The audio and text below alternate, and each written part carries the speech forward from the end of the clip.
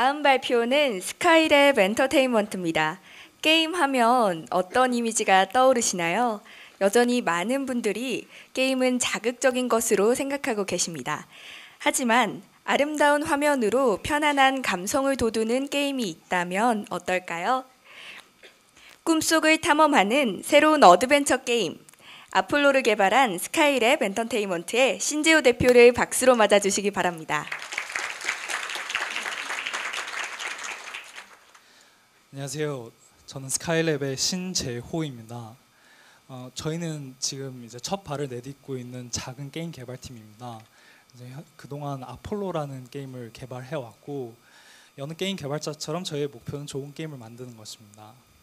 근데 오늘은 어떠한 면에서 저희가 좀 다른 뜻을 가지고 게임을 만드는지 설명해 드리고 싶어서 이 자리에 서게 됐습니다. 여러분들이 이 장표를 보시면 어떠한 생각이 드세요? 이게 2018년에 출시되고 나름 인기를 끌었던 게임들입니다. 근데 이게 저도 게임을 하는 걸 무지막지하게 좋아하지만 이 장표를 보면 사실 뭔지 잘 모르겠어요. 물론 이 그림으로 게임 산업 전체를 일반화할 수는 없지만 아마 저처럼 생각하는 사람들 또한 있을 거라고 생각을 합니다. 게임이 문화 콘텐츠라는 수식어가 붙을 정도로 대중화되었다고 하잖아요. 근데 사실 게임을 안 하는 사람들이 굉장히 많습니다. 그래서 저희가 궁금했던 거는 이게 이 사람들의 문제인 건지 아니면 게임이라는 매체의 본질적인 문제인 건지였어요. 문제를 어떻게 인식하느냐에 따라 다르게 해석할 수 있습니다. 근데 저희는 이런 생각이 들더라고요. 게임을 안 하는 사람들은 굉장히 많습니다. 근데 77%나 되는 사람이 책을 읽어요.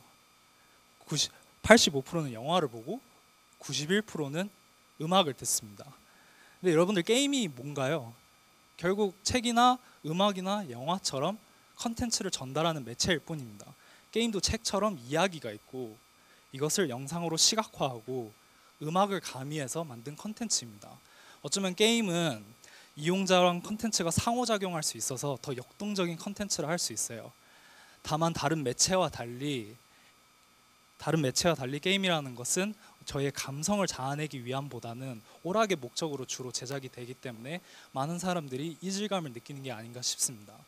그래서 저희가 이 소비자층을 보면서 다시 들었던 생각이 어쩌면 게임 자체라기보다는 그 컨텐츠의 형태나 성격 때문에 안 하는 사람들이 있겠더라고요. 그래서 저희가 그분들한테 말씀드리고 싶었던 게 게임도 굉장히 쉬울 수가 있어요. 그리고 책이나 음악이나 영화처럼 저의 감성을 자아낼 수 있으며 여러분들이나 저와 같은 일반인들의 눈높이에 맞게 제작될 수 있습니다. 예를 들면 어떻게 모니멘트 밸립처럼 간단한 퍼즐이지만 예술품에 가까울 수 있어요. 또는 어비스리움처럼 쳐다보기만 해도 행복해지고 수족관의 아름다움을 담아내거나 아니면 Man's Journey처럼 한 할아버지의 일생을 돌아보는 여정일 수 있습니다. 또는 한 소녀의 이색적인 여정을 묘사한 동화책일 수도 있고요. 저희의 사업 목적은 바로 이것입니다. 한 편의 동화 같은 뜻깊은 경험들을 게임으로 설계해서 바로 여러분들이나 저와 같은 일반인들이 2, 30분 동안 편안하게 즐길 수 있는 컨텐츠를 만드는 것입니다. 그리고 저희에게 그 첫 출발은 바로 아폴로입니다.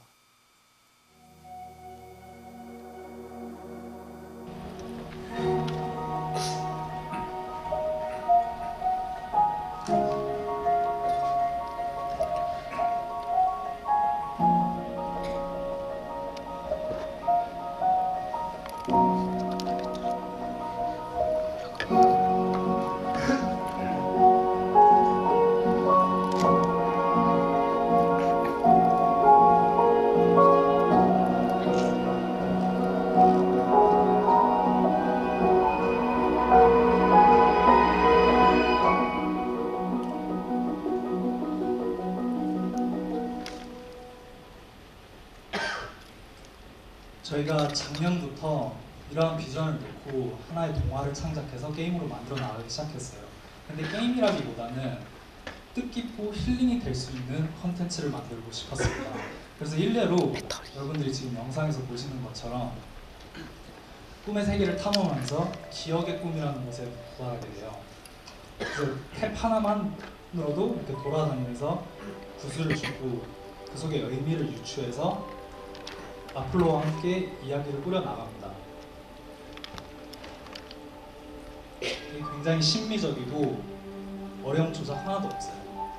손가락 하나로 돌아다니면서 미지의 세계를 탐험하시면 됩니다. 이제 여기에는 아폴로가 어릴 적 오락실에서 시간 보내던 기억이 널브러져 있어요. 여기에 알맞는 비밀 담긴 구슬을 올려놓으면 목표를 하나의 목표를 달성하는 서정적이고 아름다운 게임입니다. 여러분들이 기억의 꿈뿐만 아니라 색 그리고 소리의 의미를 탐구하는 꿈들을 함께 탐험하면서 굉장히 편안하게 즐길 수 있는 게임입니다. 예. 그래서 저희가 몇 가지의 잠재 고객을 생각하면서 이 게임을 만들었는데 첫 번째는 기본적으로 문화 콘텐츠를 소비하는 사람들. 즉 게임은 안 하지만 책이나 음악이나 영화를 즐기는 사람들을 염두에 두면서 이 게임을 만들었습니다. 그리고 어린 자녀를 둔 부모, 즉 자기의 자녀가 게임 이용하는 게 걱정되거나 아니면 함께 유의미한 콘텐츠를 즐기고 싶어하는 부모들에게 본 게임이 굉장히 매력적으로 다가올 것이라고 생각을 했습니다. 그리고 또 한 고객층 저희가 생각을 했던 게 바로 교육자들입니다.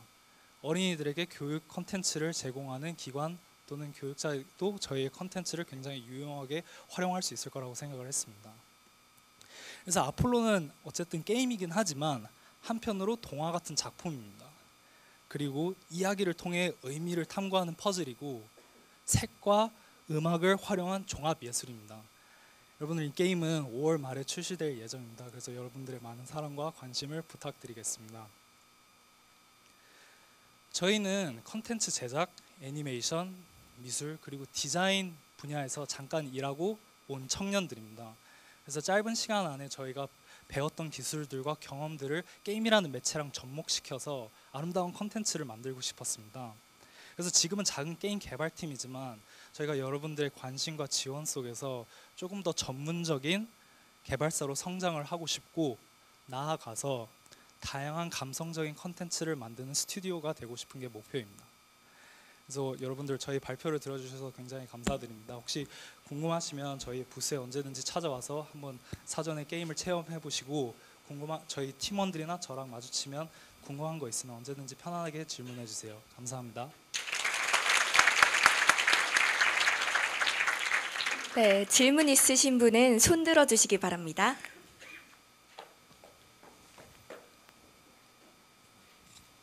아, 그 초반에 그 복잡한 게임 조작법에 비해서 굉장히 간단한 게임 조작법을 이렇게 소개해 주셨는데요. 네, 네. 그 오히려 그 너무 간단해서 약간 그 플레이어가 약간 개입할 여지가 없다. 그냥 게임에 끌려다닌다. 약간 이런 그렇게 생각할 수 있는 유저가 있을 수도 있다고 생각하는데 이에 대한 그 의견 좀 묻고 싶습니다. 저희가 게임을 개발하는 입장에서 그러한 피드백을 굉장히 진지하게 고민을 해야 될 필요성은 많이 느껴요. 그러면서 또 한편으로 드는 생각은 혹시 어비스리움 아까 보여드린 사례 이용해 보신 적 있으세요? 그것도 보면 굉장히 어떻게 보면 단순한 탭만으로도 즐거움을 이렇게 끌어낼 수 있는 컨텐츠이잖아요. 그래서 어떠한 면에선 그게 사람의 기호에 많은 영향을 받는 것 같고 그리고 어떠한 면에서는 또 개발자 입장에서 시- 진지하게 고민을 해야 되는 문제이고 그래서 컨텐츠라는 게 주관적인 거잖아요. 그래서 개발하는 저희 입장에서 항상 고민을 해야 되는 문제라고 저희는 생각을 합니다.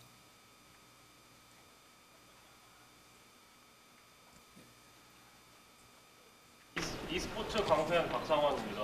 아, 네, 안녕하세요.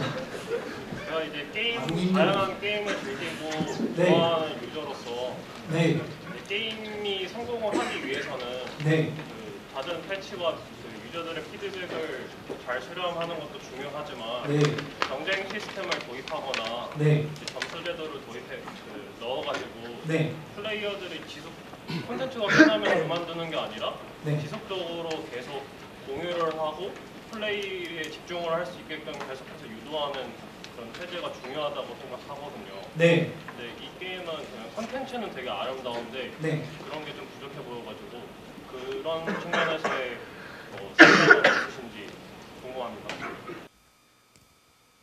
저도 오버워치를 조금 더 잘했으면 아마 오버워치 프로게이머를 했을 거예요. 배그도 굉장히 좋아하고 그 말씀하신 그 경쟁 시스템의 어떠한 매력이 그리고 그러니까 어떤 사람들한테 어필하는지 저희가 잘 인지를 하고 있는 것 같아요. 그리고 그분들을 겨냥을 해서 또는 그 소비자층과 유사한 성격을 공유하는 사람들을 생각을 하고 본질적으로 이 게임을 만든 것 같지는 않아요. 그래서 말씀하신 경쟁 시스템 같은 경우 또는 그와 유사한 어떠한 사람의 심리를 자극할 수 있는 계속 engaged 시킬 수 있는 그러한 어떠한 요소는 아직은 저희가 첨가를 할 생각은 없습니다. 근데 저희가 이게 한 번 이용을 하고 마무리되진 않았으면 좋겠잖아요. 저희도 그래서 저희 계획 중에 하나는 이 시장 호응에 따라서 3개월 뒤에는 두 개의 행성 맵을 더 추가를 해가지고 패키지로 인앱 상품으로 저희가 추가로 판매를 하고 그리고 저희가 조금 더 여력이 된다면 여러분들이 이걸 혼자 이용을 하는 게 아니라 친구랑 같이 또는 가족원이랑 같이 접속을 해가지고 이 세계를 같이 탐험할 수 있는 어떤 시스템을 만들려고 계획은 하고 있어요. 예, 아무래도 게임이라서 기관에서 오신 아재들은 관심이 없으신 것 같고 질문 하나만 더 받겠습니다. 예, 가운데 짧게 스 팀 게임 누적 천지간 정지수입니다. 이게 조작을 하는데 네. 한 번 누르면 그냥 바로 가는 게 아니라 네. 약간 계속 누르고 있어야 하는 시스템이잖아요. 맞아요. 그런데 중간에 플레이어가 땅에 가렸는데 이때 시점을 다른 손가락으로 조정해줘야 되는 거면 네. 두 손으로 조작을 하게 되어서 조금 개인 플레이가 불편해지고 화면이 가리지 않을까 합니다.